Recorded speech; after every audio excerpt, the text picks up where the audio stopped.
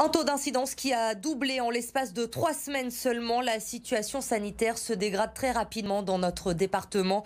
Le taux d'incidence atteint quasiment les 500 cas pour 100 000 habitants. Selon les dernières données de Covid Tracker, 106% des lits de réanimation sont occupés par des patients Covid. Le taux de positivité, lui, est passé de 9,4 à 11,2% en une semaine seulement, alors que plane l'ombre de nouvelles restrictions.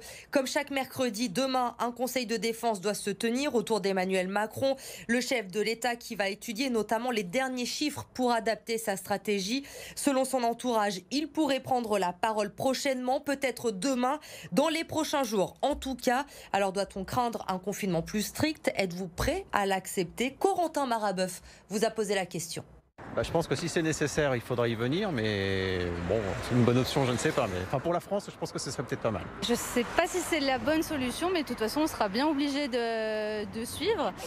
Et moi, nous, forcément, moi j'ai la chance d'être en congé parental à ce moment-là, donc euh, je serai loin d'être la plus embêtée euh, des parents d'élèves, mais c'est sûr que pour certains autres, euh, ça va être un peu, un peu compliqué. C'est difficile de se positionner parce qu'il y a beaucoup trop de facteurs en compte, c'est-à-dire qu'il y a le sanitaire qui prime, mais il y aussi l'économie qui, on ne peut pas l'oublier. Il y a des départements qui sont pas, presque pas touchés. Enfin, donc, euh, moi, je me dis, bah, faut voir. Euh, est-ce que la solution du tout confinement c'est la meilleure? Je suis pas sûre, mais on s'adapte en fait euh, en fonction de, des préconisations.